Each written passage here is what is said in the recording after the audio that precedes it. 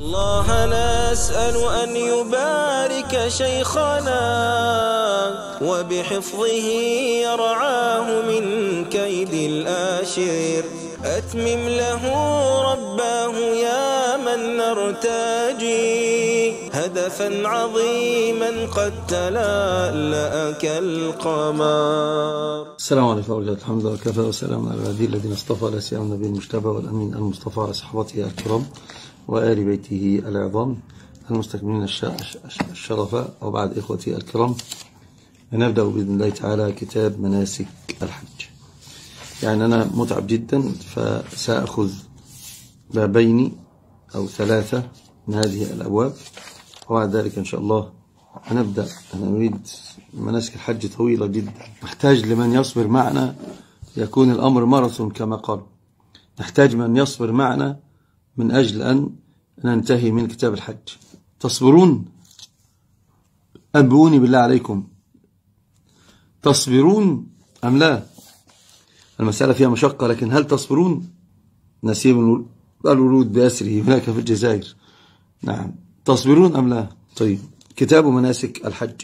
باب قال باب نعم يعني تصبرون. حاضر دي دلت على بعض الضعف آياتها الجزائرية.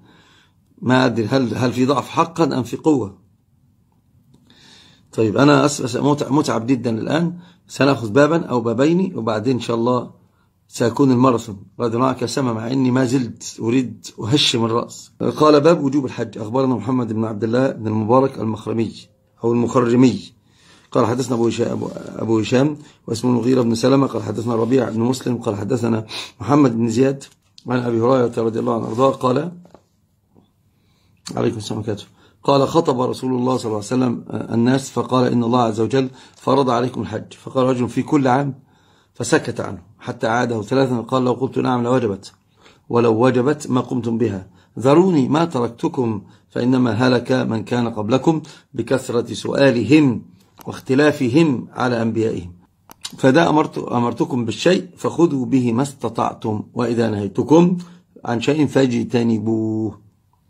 وقال المصنف رحمه الله تعالى أخبرنا محمد بن يحيى بن عبد الله النسابوري قال حدثنا سعيد بن أبي مريم قال أنبأنا موسى بن سلمة حدثنا عبد الجليل بن حميد عن ابن شاب عن أبي سنان الدؤلي عن ابن عباس أن رسول الله صلى الله عليه وسلم قال قام فقال إن الله تعالى كتب عليكم الحج. فقال الأقرأ بن حابس التميمي أفي كل عام؟ يا رسول الله صلى الله عليه وسلم. فسكت فقال لو قلت نعم لوجبت ثم إذن لا تسمعون ولا تطيعون ولكن ولكنه حجة ولكنه حجة واحدة. الحج واجب على المستطيع بنص الكتاب والسنة وإجماع أهل السنة. قال قال الله تعالى ولله على الناس حج البيت من استطاع إليه سبيلا. فهو واجب عند على المستطيع واجب على المستطيع. وأيضا من السنة قال النبي, النبي صلى الله عليه وسلم يا أيها الناس حديث الباب. إن الله عز وجل فرض عليكم الحج. فرض عليكم الحج. فهنا فيها دلالة و و و يعني بهذا الباب. أمين أمين. رضي الله سعيد. قال قال قال فرض عليكم الحج. فالحج مفروض. فرض عليكم الحج. ومن السنة أيضا في قول النبي صلى الله عليه وسلم سمع رجل يقول لبك عن شبرمة قال حجت عن نفسي. قال حج عن نفسك ثم حج عن شبرمة الله أكبر يا رب يجعلني أنا وأنت في عرفة يا أحمد وندعو والله يتقبل منا يا رب أمين يا رب أمين يا رب ضاع منا خير كثير وهذا بذنوبنا. الله يستر علينا يا رب ويتوب علينا. وهنا قال النبي صلى الله عليه وسلم كتب على كتب فرض الله عليكم الحج. فرض ففيها دلالة على فرضية الحج. فقال رجل أفي كل عام قال لو قلت نعم لوجبت هذه استدل بها بعض العلماء على أن النبي صلى الله عليه وسلم مشرع وليس ناقل للشرع. قالوا لأنه قال لو قلت نعم لوجبت فهي دلالة أنه مشرع. وهذا خطأ بين. بل النبي صلى الله عليه وسلم ناقل للشرع وليس مشرعا. لقول تعالى ما على الرسول إلا البلاغ المبين. قال إنما على رسولنا البلاغ المبين. إنما أصل حصر وقصر. وقد قال الله تعالى يا يا النبي بلغ ما أرسي ما ما بلغ قال الله تعالى يا يا رسول بلغ ما أنزل إليك من ربك ولم تفعل فما بلغت رسالته. بلغ. وهذه فيها دلالة واضحة جدا أن وظيفة النبي صلى الله عليه وسلم هي البلاغ. فقوله هنا لو قلت نعم العجبة يعني لو قلت نعم بالوحي الذي أتاني أنه في كل عام لما استطعتم أن تقيموا بذلك أن تقوموا بذلك. لذلك قال لو قلت نعم لوجدت ولو وجبت ما استطعتم ما استطعتم. ولذلك قال النبي صلى الله عليه وسلم قال ذروني ما تركتكم. فإنما هلك من كان قبلكم بكثرة سؤالهم. أنت جاءك شيء عن النبي قل سمعت وأطعت وأسكت. سكت عن شيء لا لا تبحث عنه. سكت عفوا. ففيه العفو.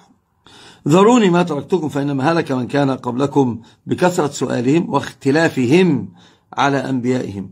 فإذا أمرتكم شيء فخذوا به ما استطعتم. يعني إذا أمرتكم شيء فلا بد يكون الاستطاعة. هنا لقوله تعالى واتقوا الله ما استطعتم. وقال الله على الناس حج البيت من استطاع إليه سبيلا. وإذا نهيتكم عن شيء فاجتنبوه. وإذا نهيتكم عن شيء فاجتنبوه هذا أمره الآن بالاجتناب. أي, أي, أي إذا, إذا كان النهي. قال فإذا أمرتكم بشيء فخذوا منه ما استطعتم. فالمسألة واقفة على الاستطاعة. وإذا نهيتكم عن, عن شيء فاجتنبوه يعني واجب عليك يعني تجتنبوه. وأيضا عن ابن عباس رضي الله عنه أرضاه قال قال إن الله قال رسول الله صلى الله عليه وسلم قال إن الله تعالى كتب عليكم الحج يعني وجب عليكم في ذلك الحج رضي الله عنك سوريا أحسن الله عليك. فقام رجل أيضا وقال في كل عام قال لو قلت نعم لوجد ثم إذا لا تسمعون ولا تطيعون ولكن حج ولكنه حجة واحدة. يعني في العمر مرة. وأنا سلم حج حجة واحدة. وحتى لما حج بنسائه وش قال له لهن؟ قال الزمنا الحصر. الزمنا الحصر. وبين هنا رحمة الله تعالى بالعباد في التشريع بأنه شرع لهم الحج مرة واحدة في العمر. ولله على الناس حج البيت من استطاع إليه من استطاع إليه سبيلا. باب وجوب العمرة. قال المصنف رحمه الله تعالى أخبرنا محمد بن عبد الأعلى قال حدثنا خالد قال حدثنا شعبة قال سمعت النعمان ابن سالم قال سمعت عمرو بن أوس يحدث عن أبي رزين أنه قال يا رسول الله إن أبي شيخ كبير لا يستطيع الحج ولا العمرة ولا الظعن قال فحج عن أبيك وعتمر. هنا في قول حج عن أبيك وعتمر فيها دلالة على وجوب العمرة. ولأنه أيضا قال وأتم الحج والعمرة لله.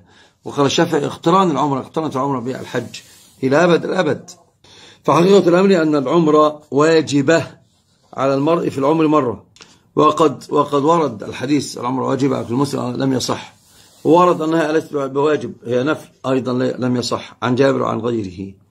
والأصل عدم الوجوب حتى يأتي الدليل وقد جاء الدليل بقوله وأتم الحج والعمرة لله.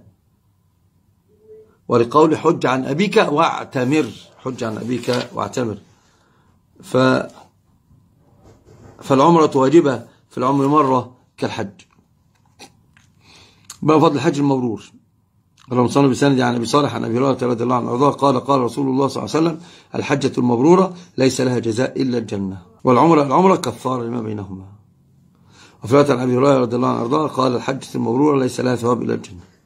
طبعا الحجة المبرورة هنا آه، كما قال العلماء يعني لا لا, يقتصر لصاحبها من الجزاء على تكفير بعض ذنوبه بل لابد أن يدخل الجنة. الحج المبرور ليس له جزاء إلا الجنة. والحج المبرور الذي الذي ليس فيه مخالفات مخالفة السنة ولا فيه المعاصي. التعدي على حدود الله جل وعلا. هذا الحج مبرور لم يفسق ولم يرفث الحج المبرور اتبع فيه السنة. من عمل صالحا من ذكر الأنثى وقال من كان يرجو لقاء ربي فليعمل عملا صالحا ولا يشرك بعبادة ربه أحدا. قال والعمرة كفارة لما بينهما. طبعا العمرة العمرة, العمرة كفارة لما بينهما. هذه جاءت الرواية بذلك أي العمرة تكفر العمرة تكفر الذنوب التي بينهما. والعلماء قالوا هنا آه، الإطلاق في هذا الأمر الأمر الكفارة مقيد بقول ما اجتنبت المقتلة ما اجتنبت الكبيرة. يعني يكفر ما بينهم من الصغائر. والصحيح أن نقول يعني حتى لو حملنا هذا على ذاك فإن الطمع في كرم الله جل وعلا يؤدي إلى أن الإنسان حتى في الصغائر حتى في الكبائر بعمل يسير يمكن أن يغفر لأن امرأة كانت تزني كل ليلة وسقط كلبا وكانت صادقة في ذلك ف فأدخل الله الجنة غفر لها كل ما مضى وأدخلها الجنة. فالعمرة للعمرة كفارة لما بينهما. نقف عند هذا. ولشيخنا همة علت الثريا فنالت ولشيخنا همة علت الثريا فنالت من فنون الدين ريا. فذا فقه سقيا الماء وتلك عقيدة السلف النقيا وتلك عقيدة السلف النقيا فأخلص نية ربي وبارك على شيخ نبيل الخلق والضاح المحيا.